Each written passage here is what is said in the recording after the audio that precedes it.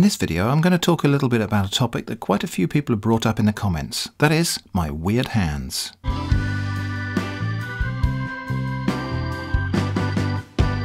Now, before we get started, I want to explain that whilst this used to be a sensitive topic for me, it's no longer so. Not at all. I used to get quite upset if anyone mentioned it in any way, but I've since made the conscious decision to accept that this is just part of who and what I am. So there's no point worrying about it or what people think of it. Also, most people who even mentioned it are just curious. You saw a thing, you asked a question. Maybe in a way that was a bit blunt, but curiosity is to be cherished. So I'm going to say you did nothing wrong. Stay curious.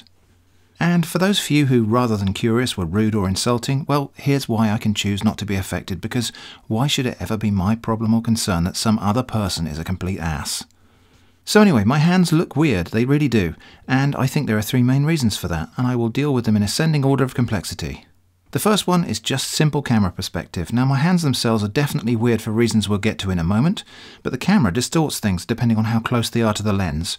And this top-down rostrum camera view I have in many of my videos doesn't help that. So whilst my thumbs look merely unusual in this position, when I turn them like this, my thumbs may look freakishly large on camera.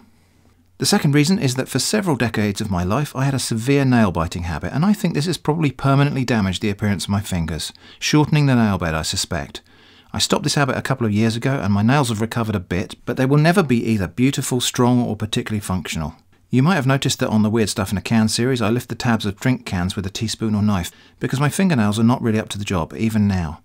This is not, by the way, my reason for using a can opener on pull tab cans of food. That's just because I don't like how pull tab cans work. And at the same time, I do love utensils such as can openers. Anyway, nail biting is at least a small part of the cause of my hand weirdness. If you have this habit yourself, I would encourage you to do anything you can to stop it as soon as you can. Like stop making it worse straight away now. You can do this because I did.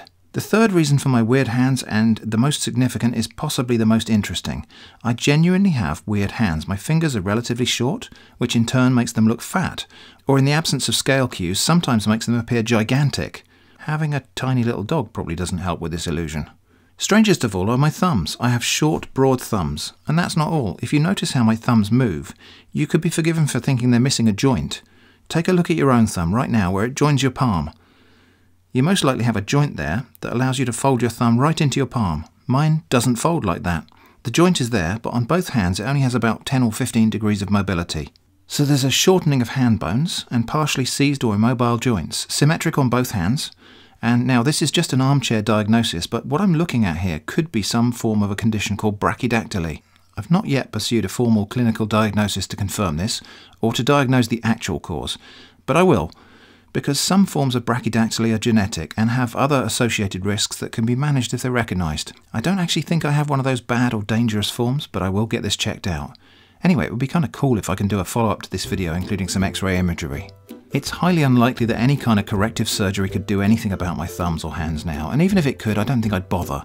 These are the hands I grew up with, and I'm used to them now. It barely causes me any problems. I'll never be a concert pianist, but there are other things to be busy with. In truth, the biggest real problem this has ever caused me in life is when I was a boy. I couldn't very easily make my thumb and little finger touch to form the scout salute. I always had to put my hands behind my back first so that I could use my left hand to force the fingers in my right hand into position. Nowadays, I can still force them to do that, but they won't stay like it for a salute. The other small problem is that my thumbs don't have the mobility for thumb typing on a typical smartphone keyboard, so I tend to hold the phone in one hand and type with one or two fingers of the other hand. So now you know everything about my weird hands. At least, you know as much as I do. I hope that was interesting. Thanks for watching, and I hope to see you again soon.